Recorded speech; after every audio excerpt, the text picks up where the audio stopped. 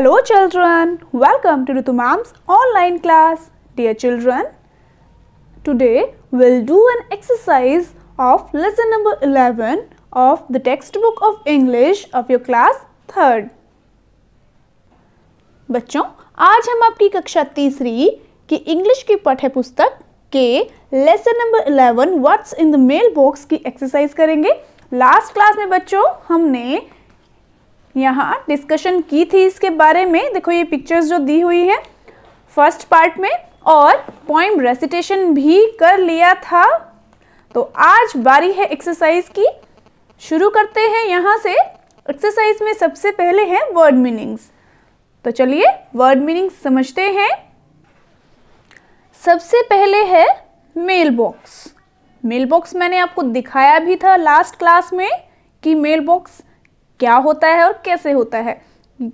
Mail box का मतलब होता है a box where you drop letters वह बॉक्स वह बक्सा जहाँ आप पत्रों को डालते हैं ड्रॉप करते हैं, जिसे हिंदी में कहते हैं डाक पेटी। Next one is postman postman is one who delivers letters वह जो पत्रों को डिलीवर करता है। जिसे हिंदी में कहते हैं डाकिया। Never never means not at all कभी नहीं। गेट गेट मीन्स रिसीव प्राप्त करना। तो चलो बच्चों वर्ड मीनिंग्स हो गए हैं, अब चलते हैं कॉम्प्रीहेंशन पर और करते हैं क्वेश्चन आंसर्स लिखा है आंसर द फॉलोइंग क्वेश्चंस निम्नलिखित प्रश्नों के उत्तर दें। तो फ़र्स्ट क्वेश्चन है What does the postman bring and for whom? डाकिया क्या और किसके लिए लेकर आता है? ब्रिंग लेकर आता है। तो डाकिया क्या लेकर आता है बेटा? बताओ। लेटर्स वेरी गुड तो देखो, हम इसे कैसे लिखेंगे आंसर को? देखो, मैंने लिखा हुआ है lesson number eleven what's in the mail box और क्वेश्चन आंसर्स लिखा है। इसी तरीके से आपको अपनी कॉपी में लिखना है। देखो बच्चों, मैंने यहाँ क्वेश्चन ब्लैक पेन से लिखा है आंसर ब्लू से। आप अपनी कॉपी में पेंसिल से काम करेंगे, ठीक है? देखो फ़र्स्ट क्वेश्चन है what does the postman bring and for whom ये मैंने आपको पढ़ा दिया है। इसका आंसर देख लेते हैं, कैसे लिखेंगे? लेटर्स लाता है ना? तो देखो, यहीं से हम शुरू करेंगे। आंसर को द पोस्टमैन अब देखो यहाँ डज लगा है और यहाँ लिखा है ब्रिंग मैंने आपको पहले भी बहुत बार समझाया है, बताया है कि क्या बताया है? जब यहाँ सिंगुलर पर्सन होता है थर्ड पर्सन में जो सिंगुलर पर्सन होता है, एक वचन होता है तो उसमें जो वर्ब की फ़र्स्ट फॉर्म होती है, उसके साथ एस आई एस लगता है। और क्वेश्चन में से आपको हिंट भी मिल जाता है। अगर डज लगा हो तो आंसर में क्या करते हैं? आंसर में हम वर्ब की फ़र्स्ट फॉर्म के साथ एस लगा देते हैं, है ना? तो यहाँ पर क्या हो जाएगा? द पोस्टमैन ब्रिंग्स ब्रिंग की जगह ब्रिंग्स हो जाएगा। ब्रिंग्स लेटर्स पोस्टमैन लेटर्स लाता है पार्सल्स भी लेकर आता है और मनी ऑर्डर भी मनी ऑर्डर्स भी लेकर आता है है ना? तो हम क्या करेंगे? The postman brings letters parcels and money orders फिर किसके लिए लाता है? फॉर अस ठीक है? हमारे लिए। अब नेक्स्ट क्वेश्चन इसी में से रीड कर लेते हैं बच्चों। Second question why does the child look unhappy in the first four lines of the poem कविता की पहली चार पंक्तियों में बच्चा अनहैप्पी नाखुश, अप्रसन्न, क्यों नज़र आता है? लुक नज़र। क्यों नज़र आता है? बताओ क्यों नज़र आता है? बच्चा कहता है ना कि भाई लेटर्स तो लेकर आता है पोस्टमैन टू और थ्री दो या तीन लेटर्स लेके आता है, पर वो या तो मेरी मम्मी के लिए होते हैं, या फिर मेरे पापा के लिए होते हैं बट मेरे लिए तो होता ही नहीं है। भाई मेरे लिए क्यों नहीं होता? मुझे भी लेटर्स चाहिए, है ना? वो इसलिए नाखुश नज़र आता है कि उसको कोई लेटर ही नहीं मिलता है उसके लिए कोई लेटर ही नहीं होता है। इसको हम यहीं से लिखेंगे। देखो बच्चों, मैंने आपको बताया हुआ जो वाई के क्वेश्चंस होते हैं, क्यों के प्रश्न होते हैं तो उसमें हम क्या लिखते हैं? क्योंकि करके लिखते हैं बिकॉज़ होती है क्योंकि की इंग्लिश ठीक है तो हम लिखेंगे the child is unhappy the child is unhappy भी लिख सकते हैं या लुक्स अनहैप्पी भी लिख सकते हैं। The child looks unhappy in the first four lines of the poem है ना?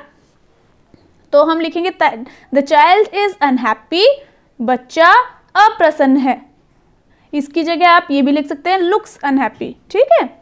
बिकॉज़ क्योंकि he does not receive any letter क्योंकि वह कोई पत्र प्राप्त नहीं करता है मतलब उसे कोई पत्र नहीं मिलता है। तो इसलिए वो अप्रसन्न है, ठीक है? अब थर्ड क्वेश्चन रीड करते हैं। When will the child get letters from his friends बच्चे को उसके मित्रों से पत्र कब प्राप्त होंगे? कब प्राप्त होंगे? बताओ। वो कहता है ना, भाई, मैं लेटर्स लिखूँगा अपने फ्रेंड्स को। जब मैं उनको लेटर्स लिखूँगा तो मुझे जवाब देंगे। और मुझे भी लेटर्स मिलेंगे, है ना? तो इसी को हम कैसे लिखेंगे?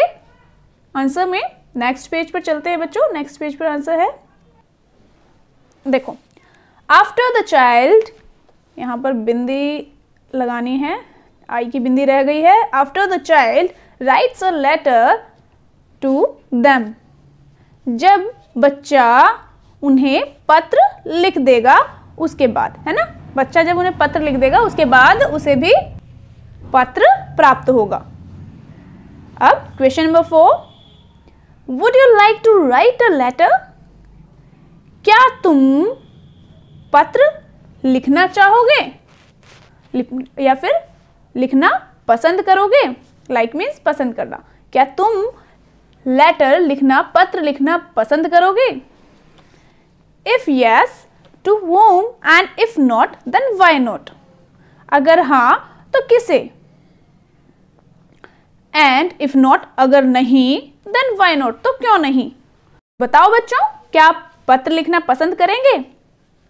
यस वेरी गुड अच्छा तो किसे पसंद करेंगे? फ्रेंड्स को रिलेटिव्स को, है ना? तो देखो, लिखेंगे यहाँ पर yes I would like to write a letter to all my friends and relatives हाँ मैं अपने सभी मित्रों और रिलेटिव्स रिश्तेदारों को पत्र लिखना पसंद करूँगा। या करूँगी। हम्म अब ये क्वेश्चन आंसर्स भी हो गए हैं। आई होप बच्चों आपको अच्छे से समझ आए होंगे क्वेश्चन आंसर्स और वर्ड मीनिंग्स भी। अच्छे से समझकर इन्हें कर लेना और अपनी कॉपी में सुंदर सुंदर हैंड राइटिंग में आपको होमवर्क करना है। ठीक है? तो बच्चों, आज के लिए इतना ही। और इस चैप्टर के इस लेसन के सभी पार्ट्स और अपने बाकी सब्जेक्ट्स की वीडियोस भी आपको देखनी है तो आप मेरे channel educational vibes with Ritu Malik and educator पर जाकर देख सकते हैं और ऑनलाइन स्टडी कर सकते हैं।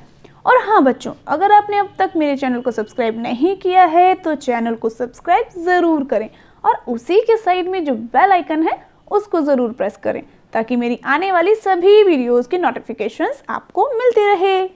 तो मिलते हैं फिर नेक्स्ट वीडियो में। तब तक के लिए बाय बच्चों।